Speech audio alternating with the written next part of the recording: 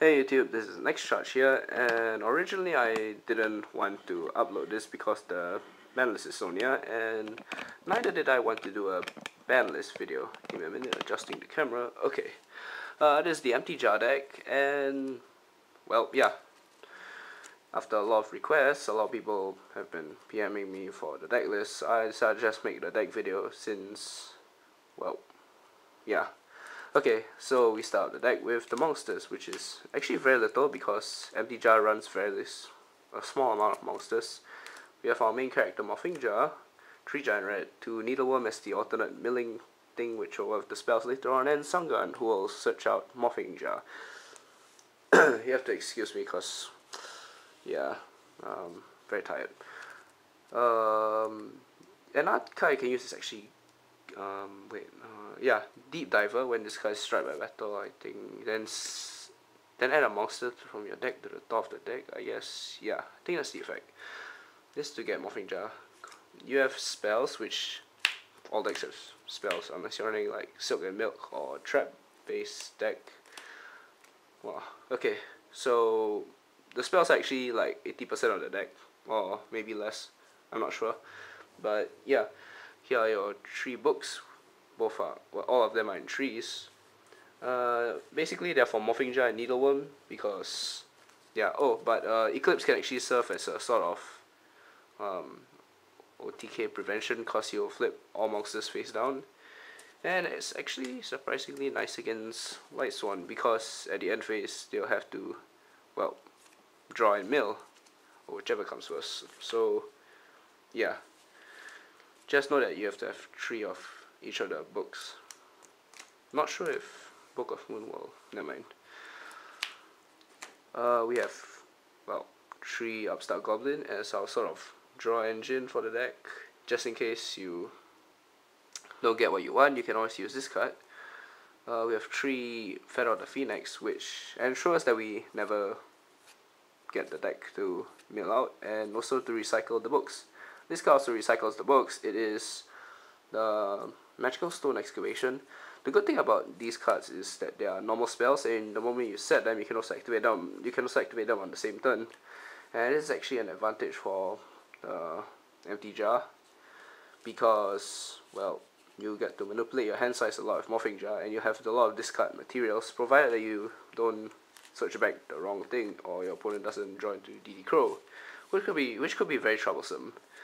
Uh, these two are the Shallow Grave. Both players select one monster in their graveyard and spell summon them in defense mode.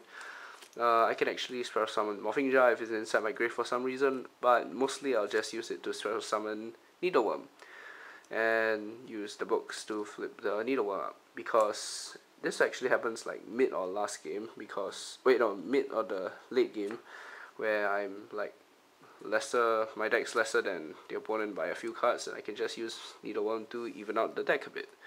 This is two Magical Mallet. Um, people run people can actually run three but I prefer two because yeah it sort of replenishes your hand just in case you start with a bad hand and stuff.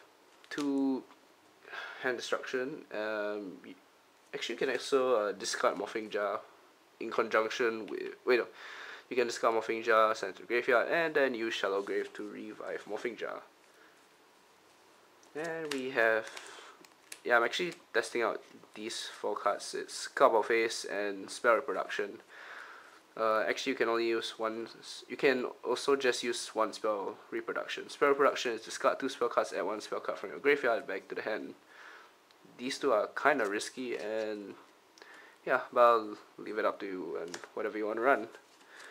Uh, better leave the cards out for you guys to see. Um, got it so far? Okay. So now we have Sorcerer Revealing Light, Giant Trunade, Card Destruction.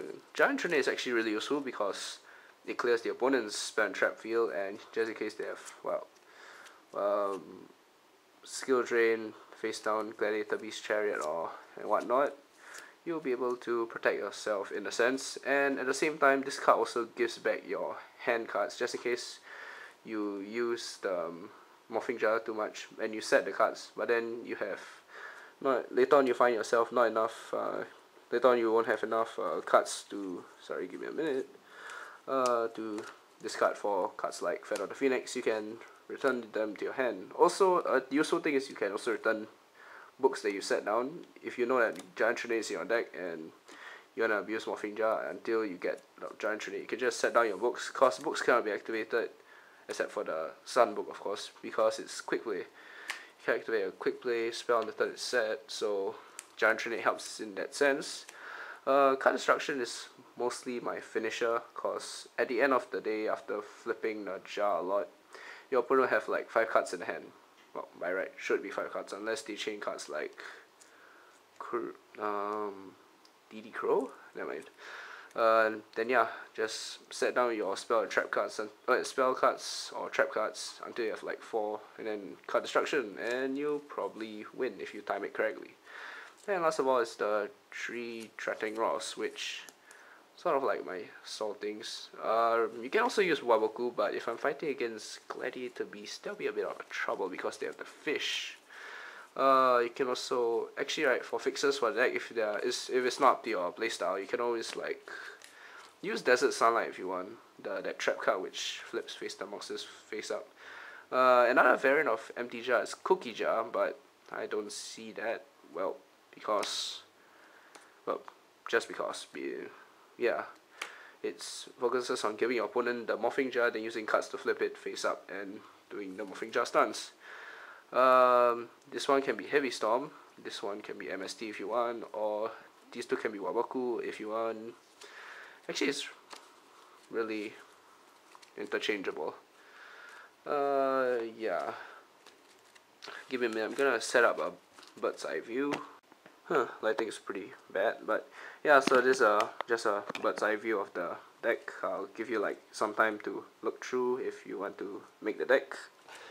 Uh, too few empty jar players. Um, in the meantime let me ramble. Okay uh, so basically right your your side deck should basic should be against traps because sometimes they can do stuff like uh, skill drain.